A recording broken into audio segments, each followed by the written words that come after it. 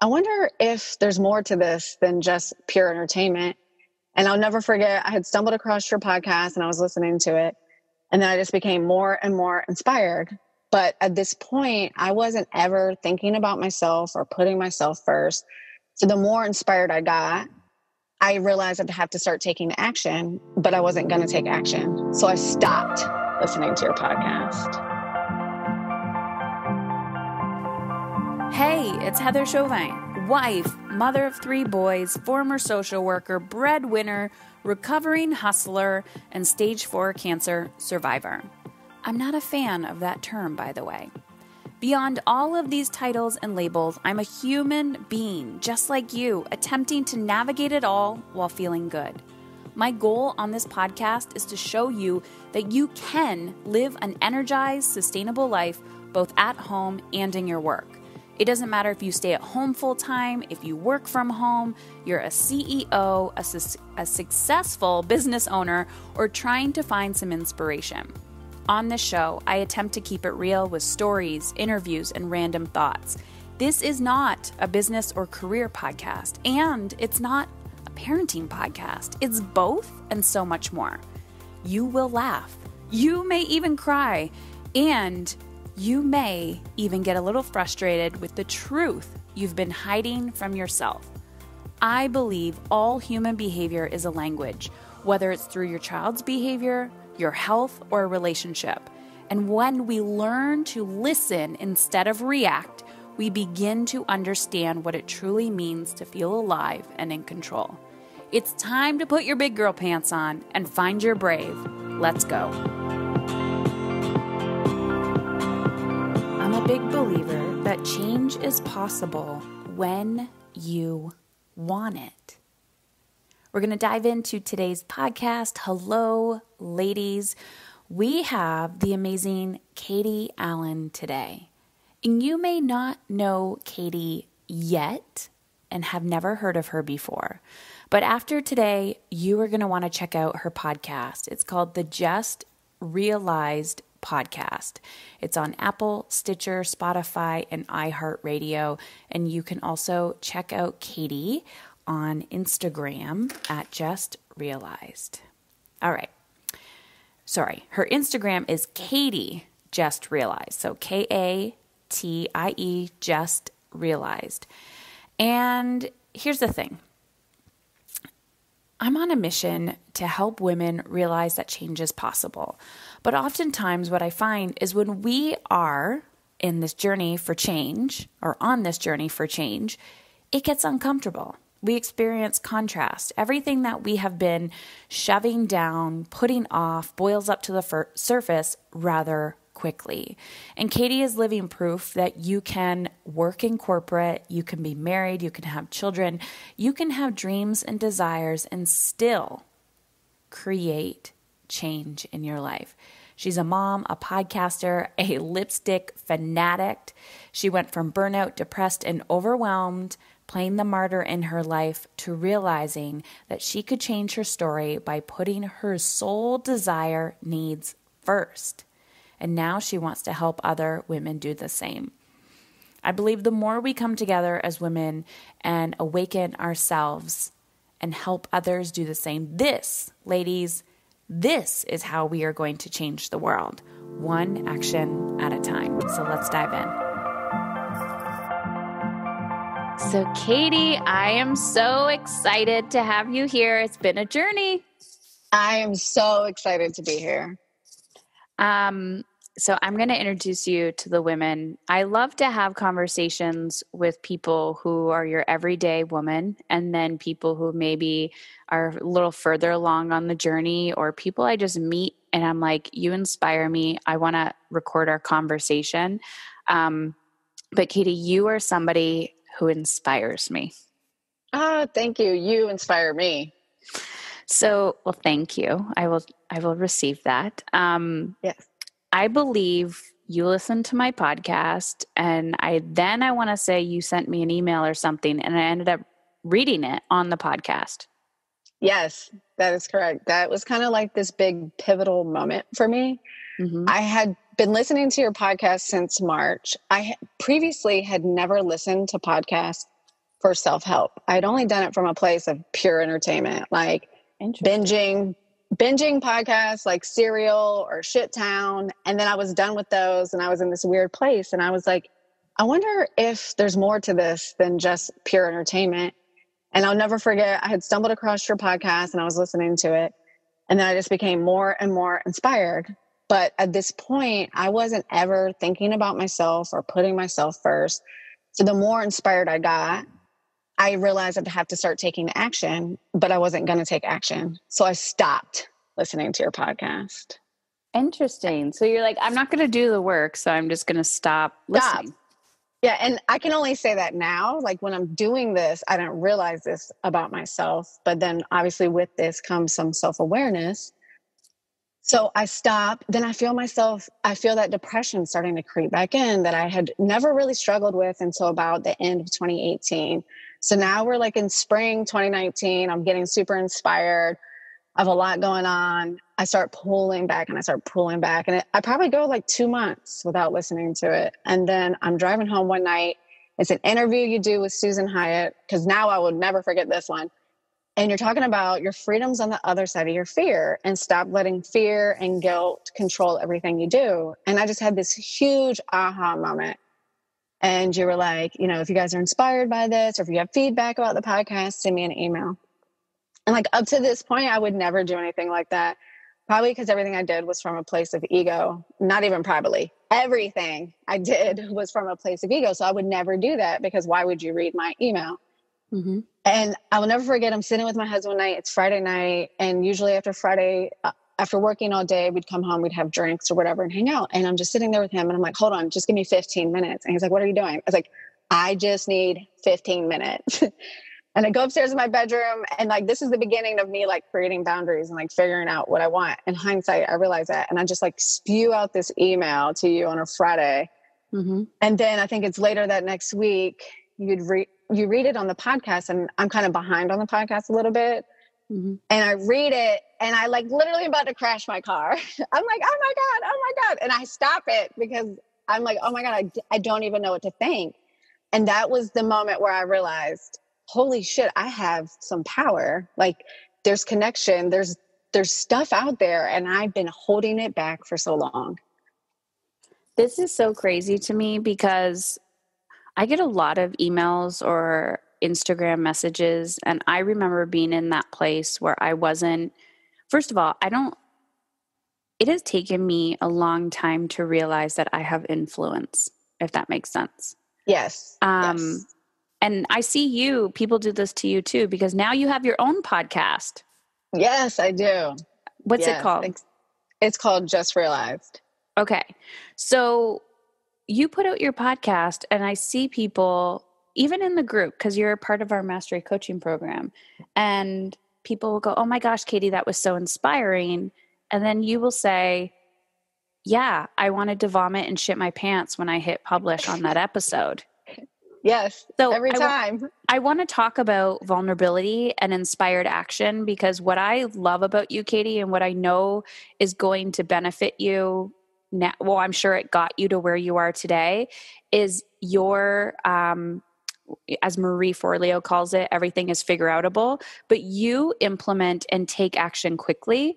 Where I see a lot of people getting stuck is indecision fatigue and they just sit and overthink and and it's this energy of sitting on the fence and the universe is like i'm confused right? Like is she in mm-hmm. or is she out? And i can feel it too where you know people will be like i don't know. Ah scary. It's this. And i'm like listen if you are not committed to this like you can jump all into the deep end and be scared but you have to realize you have the power to make shit happen in your life and you can do it scared. So can you talk a little bit about that? Yeah. So, what I'm kind of finding as I go through this journey is it's a little bit of a gift and a curse to take action like that. Prior to finding myself and really doing anything for myself, I was really good at taking action for other people. And I was really good at checking the boxes that everybody said I should check. You know, go to college, get married, have kids, get a job, climb the ladder and I don't, I can't really speak from the place of where that drive came from, other than I just had this desire to just create a different life than like my childhood. We grew up with a happy childhood, but we just didn't have a lot of means, like as an income. And I just always swore, maybe because I was the oldest child, I just always swore, like, I'm going to grow up and I'm going to make all this money. Like, I don't know how I'm going to do it, but I'm just going to do it. And I guess it just came from I started to realize, like, oh, if I take action, things happen and things get done. And I could see things moving forward, but nothing, I had never slowed down to think about, like, well, what did I really want or what I was passionate about? I always just kind of rooted myself in this idea is like, if I did something, there was always a reaction, good or bad. And you just kind of figured it out from there. Mm. But I also think the curse to that was now I'm doing everything. Now I'm pleasing everybody. And why I have this quote unquote fantastic life. Well, why do I feel so dead inside? Why am I laying in my closet floor at 38 years old? Like, what the hell am I going to do with my life? Is this all there is? Yeah. Because I've never ever slowed down to think about what did I actually want? What did Katie want? What did I need? Because I was too busy just taking action for other people to get results that were good, but they weren't purpose driven. They were always ego driven. Mm-hmm. I always say to people, I'm like, look what you've accomplished in your life. Just imagine if we focus your energy, right? Your energy and attention, what you can make happen. And it's it's neuroscience. Like we're so conditioned to be one way, and that's why it's like the power of habit formation. Um, and it's you know it's taken me a while to get there too but realizing okay if i just wake up five minutes earlier today and do that maybe even just every week i make it five minutes earlier by the end of the year i'm getting up i'm not doing math in my head but let's just say i'm getting up an hour mm-hmm. before and it's becoming an actual habit and so the interesting part is we can change in little increments in time and we're manifesting and creating habits all the time right we, we're like yes. how we're like how did i get here because every day you did something that got you here and it was a building block or how did i get in this relationship? How did how did i let somebody do this? How did i let go of myself so much? And yeah it's just it blows my mind the unwillingness. So here's my thing. Now that you've drank in my kool-aid as i call it and you are you're in and you're convinced now that you people are like is this a cult? I've actually had people say that to me I'm like, I don't That's know. Great. You can call it a cult if you want, but it's a feel good cult. And I am not, I'm not making you recite any lines here. This is all on you. Um, yes. But my point of that is we buy into this cultural expectation of women that if you're not exhausted, you're not doing it right. And I take a stand for if you're not feeling good, something's off. So, what what has been like a big awakening for you now that you're like okay i know there is another way and you're observing the world? Like how has that changed for you? Oh man it's changed so much. I people just they do these things every day and they don't even realize they do them and they realize they don't realize that they hold the power. And what i see every day now men and women is they just give their power away constantly. Like you said in these little teeny pieces day by day and you don't realize you're doing it. And it's crazy like i remember my husband talking to me uh, when this whole thing kind of first started happening and he's like you need a hobby. And i was like but i don't know how to have a hobby anymore. Like you guys are my hobby. Because at this point i had let everything chip away for so long i didn't even know how to come back and even find myself. I remember pep talking myself like going back to that feeling of overwhelm and burnout. I remember like pep talking myself one day in the kitchen like this is what women do. You're breaking barriers. You have this amazing career and you're raising kids and you're the breadwinner and you know, you're really helping move women forward and it's okay if you're tired. Like it's not going to be forever, but this is just what you have to do. And I wholeheartedly believed that story that I just had to just keep chugging along every day this is this is what i signed up for this is what women do you go to work all day you kick ass you come home you cook dinner, you give baths or whatever that is for you. And you're just always busy and you're always tired, but that's what you wanted to do. And that's your kind of like your sacrifice for, you know, pushing women forward as far as a career space. And I literally can envision myself pep talking myself mm-hmm. that it was okay to be tired at the kitchen sink one night. And it it's not. It's yeah. not. And and that's why I named the podcast Just Realized because it was like one day my husband and I were just kind of going back and forth and I was like I just realized that eh, I get I give my power away every day and it's in these little teeny pieces like hey can you stay late? or a friend like hey can you just come to this birthday party? or i mean i can't think of you know those little examples and it's like day by day by day. Mm-hmm. and i think what really where i really struggled is i had always considered myself this strong independent woman that takes action and gets things done. So how could i lose myself? Like that's for someone who mm-hmm. avoids conflict or someone who's meek and doesn't speak up. Like i'm speaking up. I'm doing all these things. How could i not be speaking up for myself? Like how did i not realize that i wasn't speaking up for myself? I feel powerful but yet i'm giving my power away every opportunity i can without realizing it mm-hmm. it blows my mind i can't it when you say how could i not realize it and i look back on who I was. And I, the interesting part is, and I know people will only hear this when they truly want to hear this. Um, I'm so grateful I got sick, but at the same time, it, it, it, it saddens me a little bit that we have to have that crisis in order to wake up. Um, yes. Because previous to that, I was, I was reading all the books. I had coaches. I had a business. I just didn't have any role models. Like literally all the female coaches that I hired who supported me in my personal or professional life were burnt out. Mm-hmm. And mm-hmm. they're like, oh, yeah, that's just the way it is, just kind of what you said.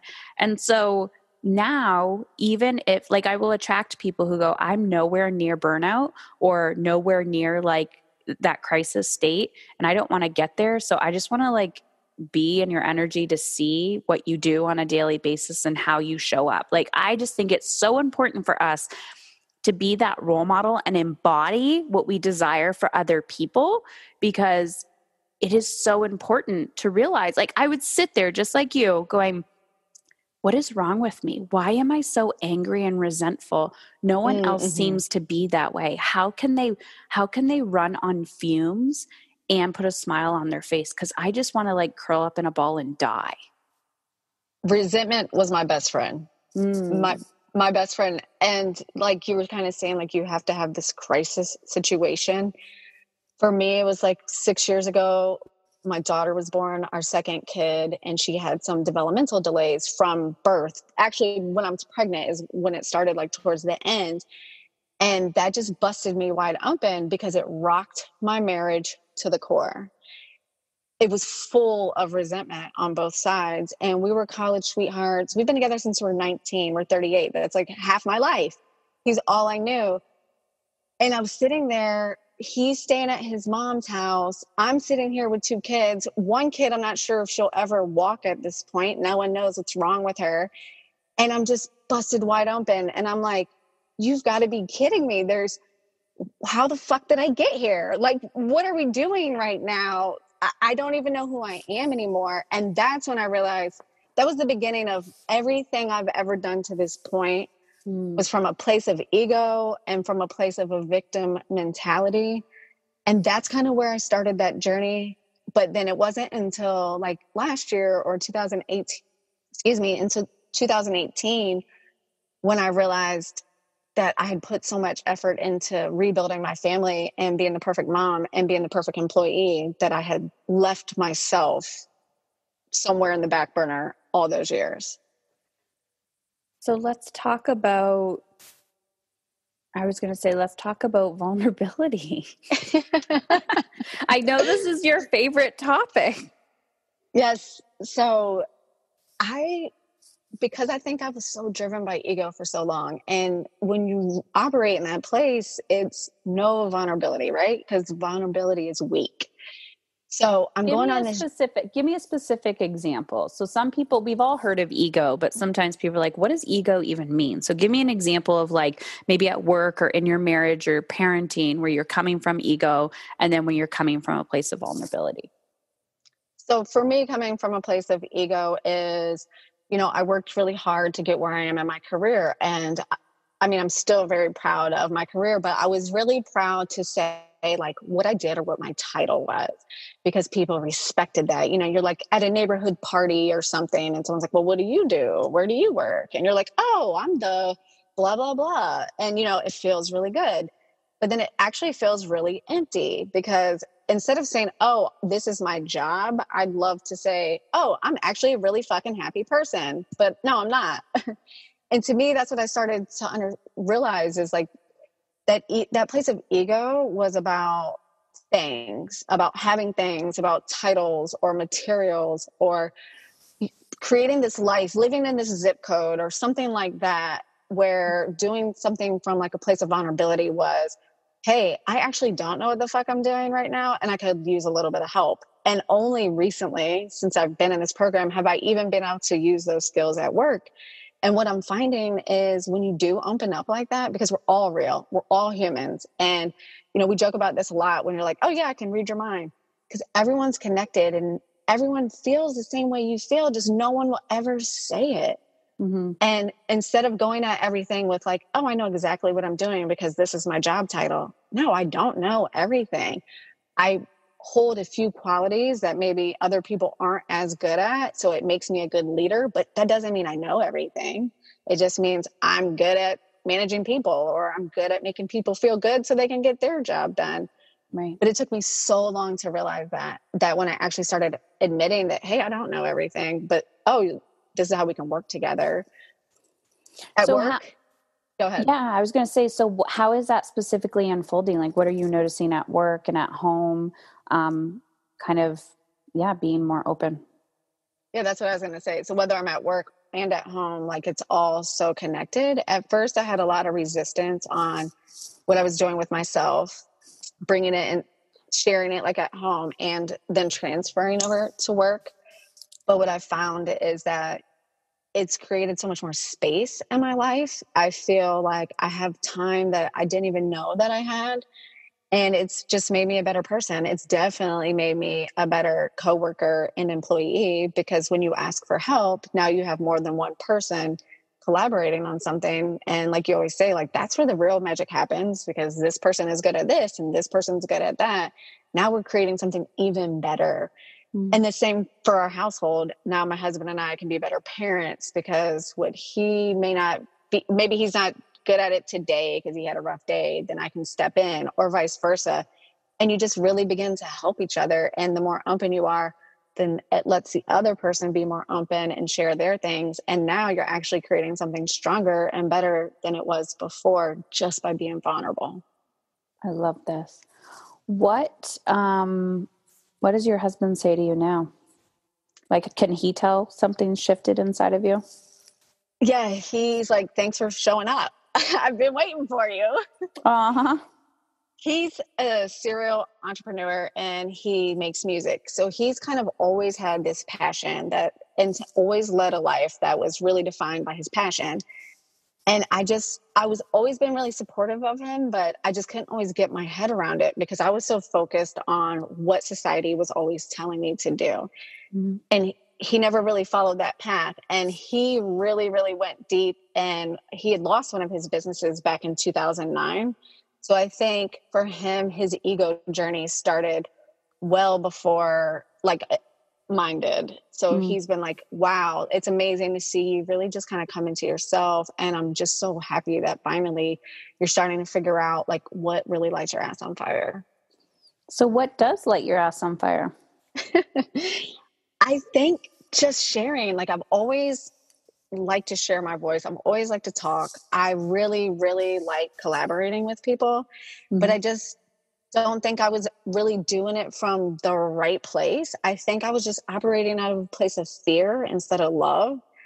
And now I'm really starting to realize like all those things that I liked about work, I still like them about like leading meetings and presentations and inspiring people. It's just an opportunity to really do it from a different place. And I also didn't know what I wanted to share. But now that I've really tapped into this like vulnerability thing and just telling my story and being so open with it and realizing how much power is in telling your story and sharing it with other people, I'm just like, that's it. Like, I feel like I have to let other women know mm. you do mm-hmm. not have to feel like shit. Like, you don't. And that's my new mission. Yeah. And it, it's interesting because I don't know. It, it just blows my mind. Like you, once you're in it, I think you can hear things from people but there is some magic and when you are there doing it kind of like the whole brene brown thing right like being in the arena yes you can i respect people so much more who have gone through the same things as me or who are in it because i'm like i get you right i wouldn't say yes. it's so much a respect it's just like you get it. You're like oh my gosh i i think that was amazing. That was so inspiring. Uh, it's funny because i don't really have a lot of feedback. I just attended an event with a colleague and she's like okay i want your feedback. I'm like that was amazing. Like if you ask the participants in the room they might say the beans were too cold. The lighting sucked. The temperature was weird in here. I'm like that's just their you know, type A micromanaging bullshit. I said, but it takes a lot of energy and practice, um, planning to pull off something, even if it's a podcast or anything. That yeah. if we can just look at the, I don't want to say the positives, but the courage in people rather than trying to like pull them down all the time, this is where we have that collaboration. And I think you and I were talking about this before I hit record about women. Like, I am such an advocate for women helping women. And oftentimes, when I'm talking to people and I say, yeah, most of the work that I do is in a community setting because it, there's so much value beyond what I can ever give you by bringing like minded women together. And most women who have not experienced it before do not understand the power of community um, until they've experienced it.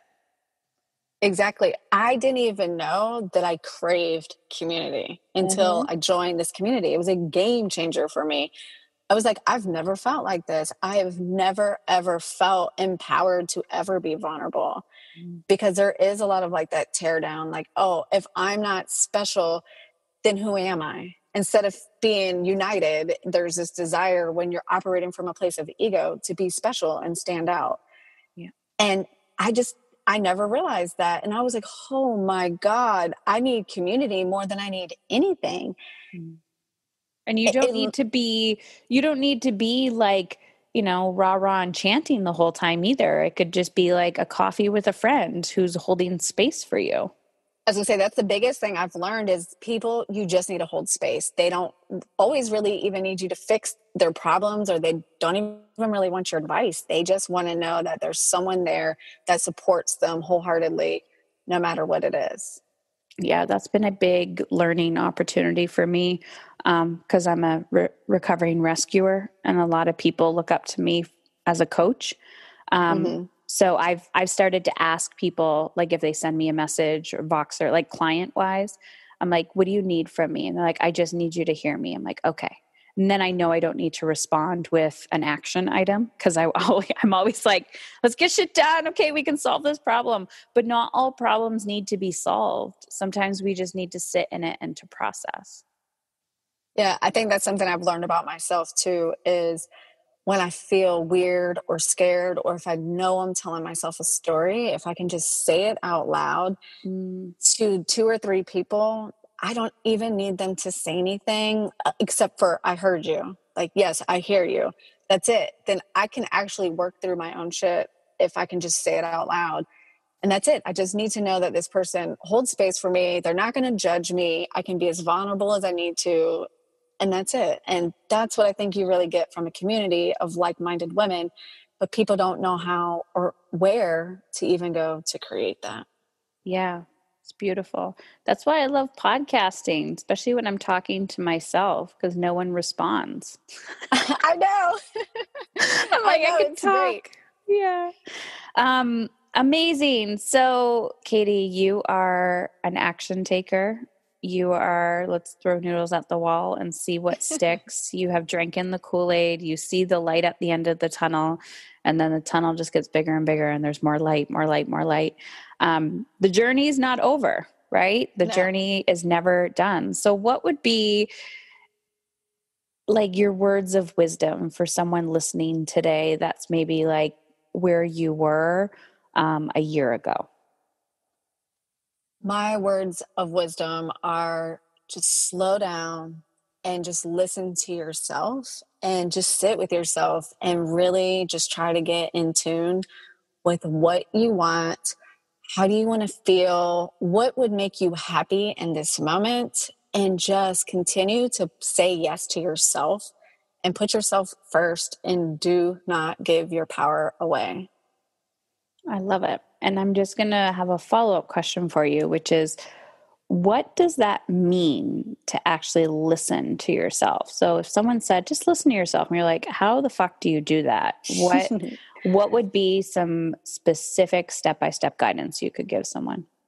So the things that have been working for me, um, journaling, even though I resist the shit out of it, every time I actually just sit down and just do it, things come up that I just didn't even know.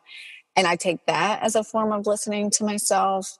Um, just sitting still. Like if I literally just kind of sit still, and you had talked about this one time and it really moved me, it was just sit still for like two to five minutes and what what's the first thing that comes to your mind because that's usually the right thing and go with it and just lean into it that's how i even really tapped into this vulnerability thing is i just was really really struggling and i couldn't identify it, even what the feeling was because it wasn't fear nothing was going on in my life nothing was bad but i just didn't feel good and i just sat in my bathroom one night in my bathroom sink and just took a couple deep breaths and just the word of vulnerability just kind of came to me and i just had this huge aha moment but i don't think i would have gotten there without just knowing to just slow down and Mhm. that's something like as an action taker i have to really try hard to just slow down and stop listening to everything and just try to pause and really just reflect to yourself Yeah.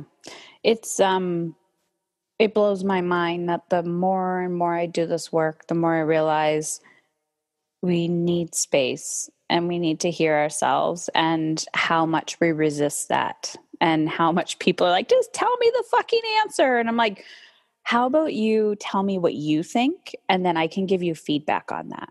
Um because if you are constantly seeking outside yourself for validation, you're never going to trust the guidance that's within you, and that creates codependency.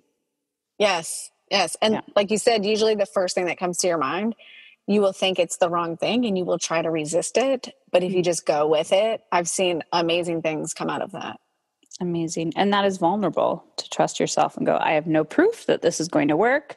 Let's see what happens. exactly yeah So, where can people find you? So I'm on Instagram at Katie Just Realized, and my podcast is on Apple, Stitcher, iHeartRadio, Spotify, all the big players. Um, it's the Just Realized podcast, where we talk about all these things, and I'm just trying to spread the message and tell my story. Amazing. And what do you what else is bubbling up inside of you? What do you think you're going to be creating in 2020? Um, my big, big goal for 2020 is to stop playing small and support others because I'm a firm believer that what I do to others, I do to myself. So I really, really want to connect more and more and continue to build community through supporting all the amazing women that I know in my life and help them tell their stories too. Amazing. Thank you, Katie, so much. I'm just so incredibly grateful that you keep um, what I call following the breadcrumbs and listening and acting because that's where the magic is unfolding in your life. So I'm just, I'm grateful you're showing up. Thanks, Heather.